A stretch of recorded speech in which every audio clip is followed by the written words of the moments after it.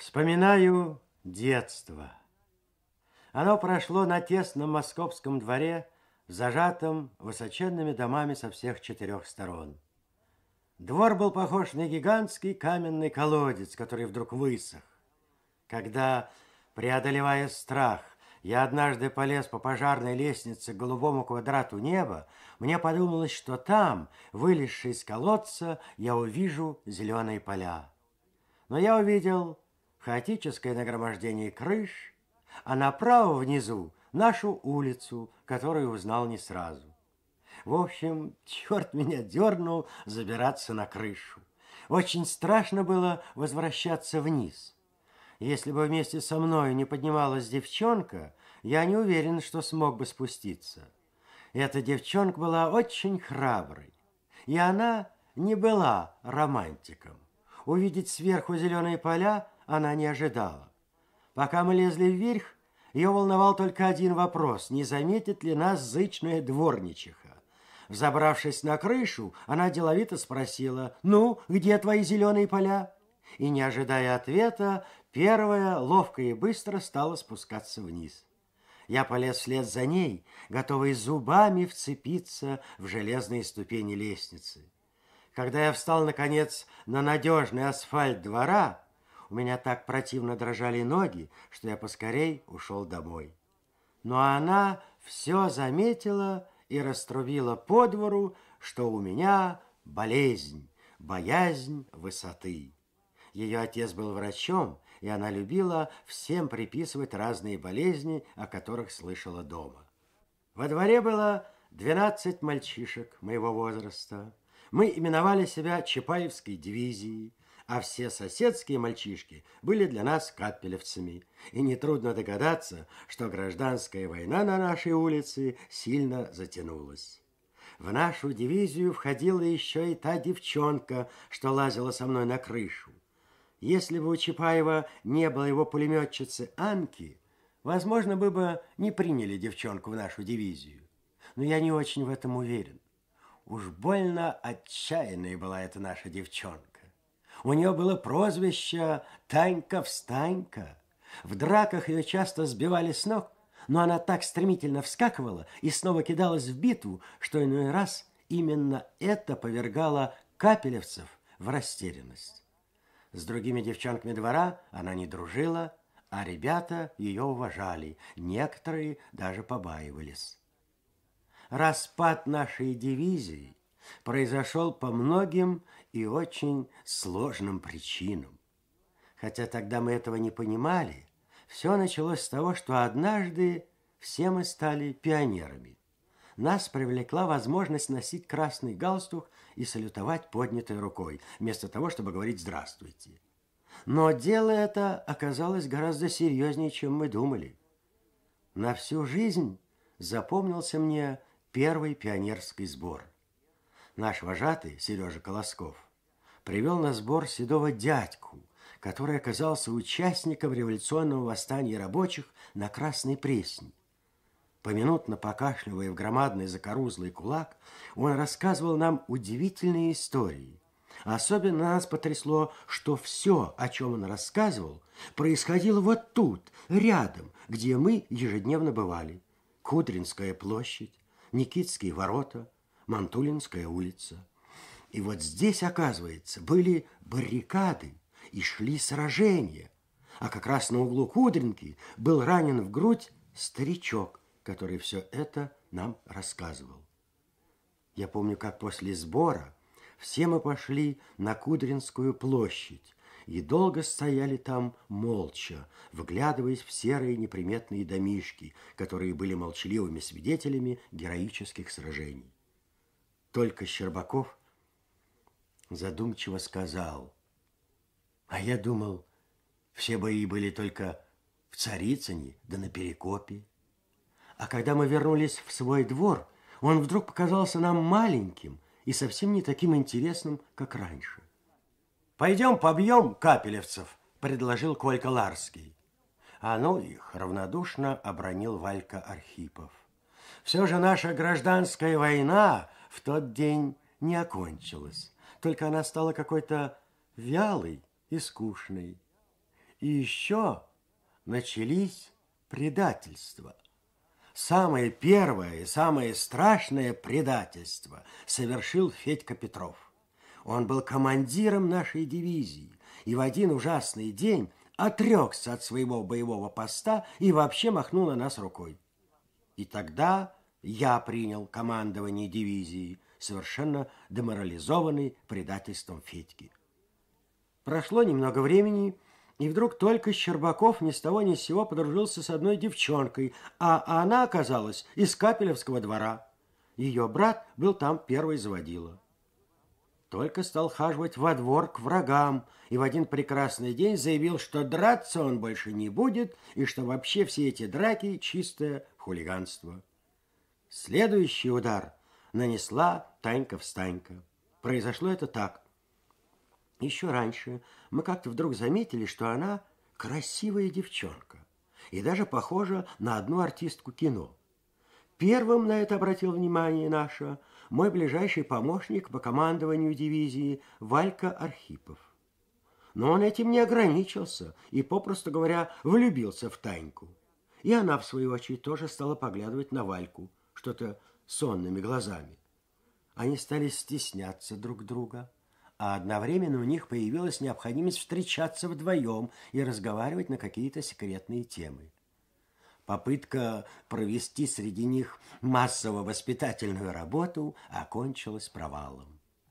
Валька стал отлынивать отдел дивизии и, в конце концов, сославшись на то, что у него плохи дела в школе, совсем вышел из дивизии. Вслед за ним дезертировала и Танька. В течение весны дивизия развалилась, и гражданская война на нашей улице прекратилась. У меня появилась масса свободного времени, и, наверное, именно из-за этого я тоже влюбился в Таньку.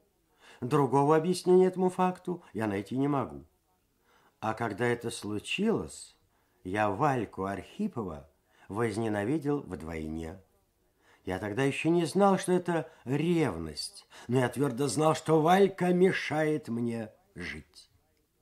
Несколько слов о Вальке. Чтобы не погрешить против правды, я обязан сказать, что он был очень хороший парень. Главное, он был очень начитанный. Собственно, от него мы впервые узнали о Чапаеве и Капелевцах.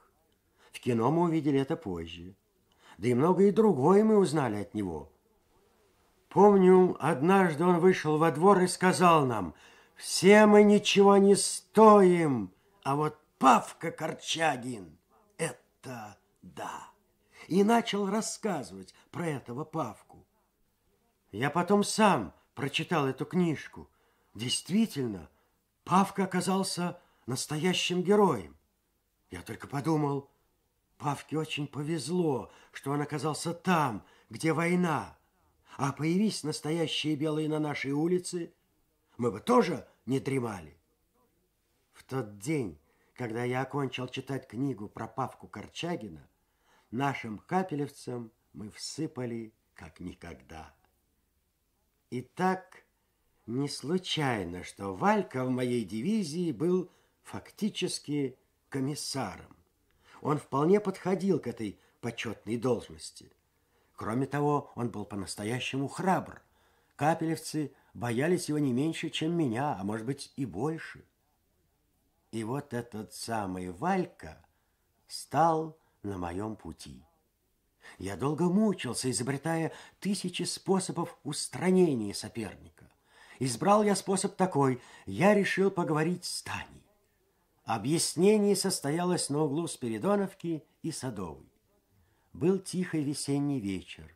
Легкий морозец прихватил землю, и новый ледок вкусно хрустел под ногами.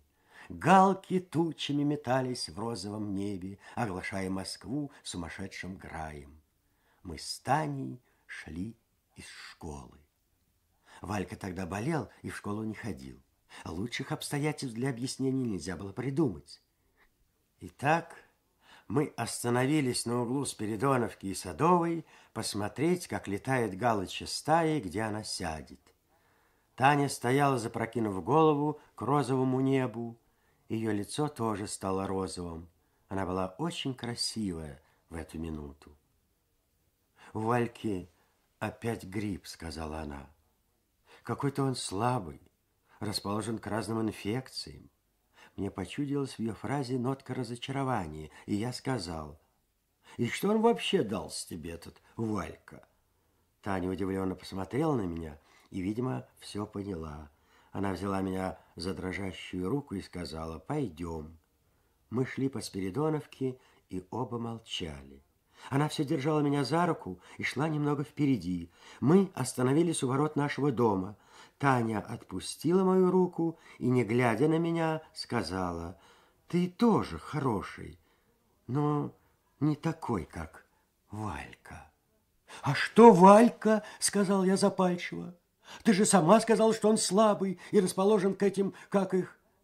«Валька совсем другой», — перебила меня Таня. «Совсем другой. Ну вот скажи, ты бы мог пронести меня на руках через всю жизнь? Мог бы?» Я, вероятно, слишком буквально понял эту задачу и задумался. «Ну вот видишь», — насмешливо сказала Таня, «ты думаешь, а Валька сам говорит мне это каждый день, каждый день». Последние два слова она крикнула, уже вбегая в каменный тоннель ворот, и крикнула так громко, что прохожие обернулись. Я пошел на Патриаршие пруды и просидел там на лавочке до поздней ночи. На другой день в школе Таня, пробегая мимо меня, сунула мне книжку и сказала, прочитай там, где бумажка. Это была книга рассказов Максима Горького. Я вышел на школьный двор и, спрятавшись за угольную кучу, открыл завернутую страницу. Я прочитал подчеркнутое. «Если уж я полюблю, так на всю жизнь». Это была фраза героини одного из рассказов. Фраза была подчеркнута, и около нее был поставлен восклицательный знак гигантских размеров. Я ушел из школы и прочитал всю книгу, я искал в ней фразу, которая должна была стать моим ответом. Такой фразы я не нашел, и тогда сам на той же странице написал «Когда передумаешь, будет поздно».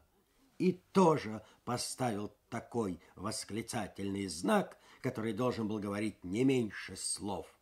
На другой день я в школе передал книгу Тане.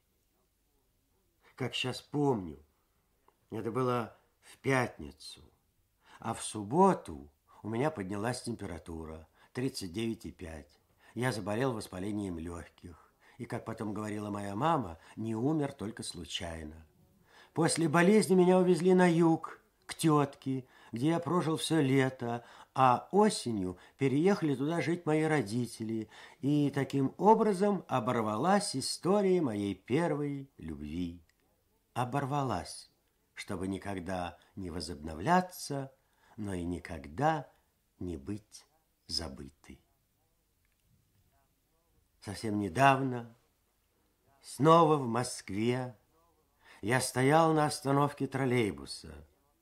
Был свирепый зимний день. Солнце оранжевым кругом висело над крышей высокого дома, и трудно было поверить, что это то самое солнце, которое может греть. Морозная дымка стелилась вдоль широкой улицы. За хвостами автомобилей мгновенно таяли клубы белого пара. Мороз был такой сильный, что трудно было дышать. А троллейбуса, как назло, не было.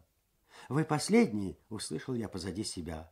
По всей вероятности, буркнул я и принялся перчаткой оттирать замерзшее ухо. А Чапаев был, между прочим, более вежливым человеком. Услышал я все тот же голос позади. Я не сразу понял, что это относилось ко мне, но все-таки обернулся. Позади меня стояла высокая и красивая женщина. Она смотрела на меня в упор и улыбалась. «Танька, встань-ка!» — воскликнул я не очень уверенно. «Легендарный комдив?» — в тон мне ответила женщина. Я уж не помню точно, что мы говорили в эти первые минуты встречи Наверное, мы говорили обычные глупые фразы, которые произносят все в таких обстоятельствах. Мы вместе протиснулись в переполненный троллейбус и, стоя вплотную, лицом к лицу, бесцеремонно разглядывали друг друга. В ее глазах я прочитал свои мысли. Каждый день, видя себя в зеркале, мы незаметно привыкаем ко всем следам времени, и к появившейся на висках седине, и к морщинам, и к подозрительному блеску вставных зубов. Но если мы встречаем хорошо знакомого человека, которого не видели много лет, мы вдруг остро ощущаем совершившийся пролет времени. Мы смотрели друг на друга и молчали. «Ну, как же вы живете?» – спросил я и устыдился, что не мог придумать вопроса не столь стандартного. «Живу, ничего. Смешно, как бывает. Но буквально сегодня с Валентином вспоминали о вас». «С каким Валентином?» «Как не стыдно забывать. Валька Архипов. Он мой муж. Я так и не передумала». Татьяна засмеялась. «А что вы должны были передумать?» Боже мой, как не стыдно все так забывать. Помните, вы написали мне в книге, когда передумаешь, будет поздно. У меня эта книжка цела, и если вы зайдете к нам, я предъявлю ее как вещественное доказательство. Правда, заходите к нам. Валентин будет очень рад, он ведь так любил вас. Она начала пробираться к выходу и уже от дверей, махнув мне рукой, крикнула «Обязательно приходите, мы живем там же, у меня». В воскресенье я решил зайти к ним. Днем я подходил к дому моего детства. Раньше я не раз в деловой московской спешке проходил мимо этого дома, но никогда не испытывал такого волнения, как в этот раз. Как только я вошел в каменный тоннель ворот, увесистый снежок ударил мне в грудь, и тотчас с диким криком «Бей фашистов!» в тоннель ворвалась дерущаяся орава ребят. Новое поколение, как некогда и мы, занималось воинственным делом. Я прижался к стене, и сражение пронеслось мимо меня. «Покрышкин, заходи в лоб!» — крикнул вихрастый паренек, и мгновенно ребята исчезли. Это была уже не та игра, в которую играли мы. Время пролетело и над детскими играми. А вот и пожарная лестница, на которую я лазил в надежде увидеть зеленые поля. Дверь открыла сама Таня, и мне показалось, что, увидев меня, она растерялась. Я подумал, что ее приглашение было обычной формой вежливости, и она не рассчитывала, что я приду. Она молча ждала, пока я снимал пальто, и потом довольно сухо сказала «Проходите сюда». Из темной передней я вошел в очень светлую комнату и не сразу все увидел. Таня стояла в стороне и напряженно наблюдала за мной. Я повернулся вправо и увидел черные глаза, блестевшие на белом квадрате подушки. Я увидел сначала глаза, а уж потом длинное тело человека, полулежавшего на постели. Не зная, что отец Тани давно умер, я подумал, что это он. Но в это время с постели послышался голос. «Ну, Чапаев, подойди сюда, покажись своему комиссару». Сомнений быть не могло. Это лежал Валька Архипов. Я медленно подошел к постели, и мне почему-то стало страшно.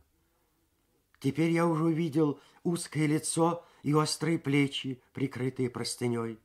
Мне навстречу из-под одеяла выскользнула белая рука. Пожимая эту слабую руку, я, словно ища поддержки, оглянулся на Таню, и она, наверное, поняв мое состояние, подошла, пододвинула мне стул и сама села в ногах Валентина. Я сел, не зная, что же теперь говорить. Я почему-то всегда боюсь разговаривать с больными и испытываю стыд за то, что я здоров. «Ну, братец, — сказал я неестественно весело, — узнать тебя совершенно невозможно. Встреть я тебя на улице, ни за что не узнал бы». Возможность такого конфуза предусмотрена. Спокойно, с улыбкой сказал Валентин. По улицам я никогда не хожу. Я уставился на него с выражением явного испуга. «Не пугайся, старина!» — сказал он и положил свою легкую руку на мое колено. «Я сейчас тебе все объясню. Ты слышал о том, что недавно была война? Слышал? Ну вот. На этой войне я командовал батальоном. А когда мы наступали в Белоруссии, в трех шагах от меня разорвался снаряд, который нашел возможным не разнести меня на клочки, а ограничился тем, что всадил мне три осколка в позвоночник. А по выражению одного госпитального доктора – Позвоночник – это стержень, на котором держится вся человеческая конструкция. И вот у меня стержень этот перестал держать конструкцию, и я лежу, лежу, и все. Все ли тебе понятно? Я посмотрел на Таню. Она в это время смотрела на Валентина. Ее лицо было озарено доброй улыбкой. «Так вот мы и живем», — сказала она, продолжая смотреть на Валентина. Все в этой комнате напоминало мне обстановку квартиры Николая Островского, в которой мне приходилось бывать еще при жизни писателя. Около постели было много книг. К стене был придвинут пюпитр, который, вероятно, устанавливался на постели, когда Валентину нужно было писать. А главное, это человек, полулежащий на подушках, его легкие, почти прозрачные руки. Где-то зазвонил телефон, в дверях показалась Танина мама. «Валя», — сказала она, — «включите вашу трубку». Я так напряженно слушала его разговор по телефону, что сейчас могу совершенно точно воспроизвести все его слова. «Да, я. Спасибо. Я чувствую себя прекрасно. Слушаю. Так, так. Подождите-ка, я что-то не понял последнего. Нет, вы повторите, пожалуйста. Так, так. Ну так что же, именно здесь вами и допущена ошибка. Эта формула к данной задаче никак не относится. Ну, конечно же. Благодарить меня не за что. Просто надо быть внимательней. Хорошо. Вы весь комплекс пересмотрите заново. И затем позвоните мне. Ничего. Я буду ждать вашего звонка. До свидания. Валентин положил трубку около себя и, добродушно улыбаясь, сказал, «Способный паренек, но как иной поэт, увлеченный музой, забывает вдруг грамматику, так и он. Да, я же не сказал тебе, что теперь моя стихия – математика». «Почему теперь?» – поправила Таня. Валентин окончил математический факультет еще перед войной. Ну, положим, я его не окончил, государственный экзамен я не сдал. Как же ты попал на фронт? Вырвалось у меня. Валентин посмотрел на меня жестким взглядом и тихо, раздельно, произнося слова, спросил, как это попал. Я ушел добровольцем. Разве ты не был на фронте? Был, ответил я смущенно. Я был корреспондентом. «А, — Валентин засмеялся, — меткий залп, и фашистский стервятник рухнул вниз, так?» «Было и так. Ну-ну, не обижайся. У нас в математике тоже есть свои специалисты по стервятникам. И вообще мы не о том говорим. Таня взяла с пола какую-то книжку и вышла. Валентин снова положил свою легкую руку мне на колено. «Спасибо тебе большое», — сказал он тихо. Он помолчал немного. «Если бы ты знал, какое счастье для меня, что она есть на земле в мою эру. Не она, так я не знаю, что со мной было бы. Она отыскала меня в госпитале на Урале привезла сюда и с тех пор, ну, буквально несет меня на своих слабых руках. Я сдал кандидатский минимум, Буду защищать диссертацию на степень кандидата наук, работаю при университете, и все это она, она, она. Сама мечтала стать актрисой, а из-за меня поступила теперь на математической. Вот говорят, жена моя половина, Таня, все три четверти, если не больше. Это такое счастье, что она есть. Он сказал все это тихо, медленно выговаривая слова и глядя куда-то мимо меня. Помолчал и спросил, «У тебя есть жена?» «Была. Разошлись. Не понимаю я этого. Не понимаю. Ты меня извини. Это у вас так получается от того, что без любви. А мне вот повезло, что ли? Или я в нашем районе всю любовь себе захватил? Он тихо засмеялся. В это время зарокотала телефонная трубка, и он снова разговаривал по телефону. Потом мы вспоминали детство, друг у друга узнавали судьбы своих сверстников. Я ушел, когда начинались ранние зимние сумерки. На углу на том самом углу Спиридоновки и Садовой я совершенно машинально остановился. В небе метались галочки стаи, но небо не было розовым. На противоположном углу у большого нового дома стояли юный парнишка и девушка, которая все порывалась уйти, но парень удерживал ее за руку, и они опять стояли и смотрели на галочки стаи и говорили о чем-то. И хотя я не слышал их слов, мне хотелось верить, что они говорят о настоящей любви, которая красива, как подвиг, и вечна, как жизнь. Придя домой, я сделал запись об этой встрече. Сделал я это по журналистской привычке собирать в блокнотах все, что попадалось на жизненной дороге. Тогда у меня еще и мысли не было писать рассказ о друзьях моего детства. Это решение пришло позже.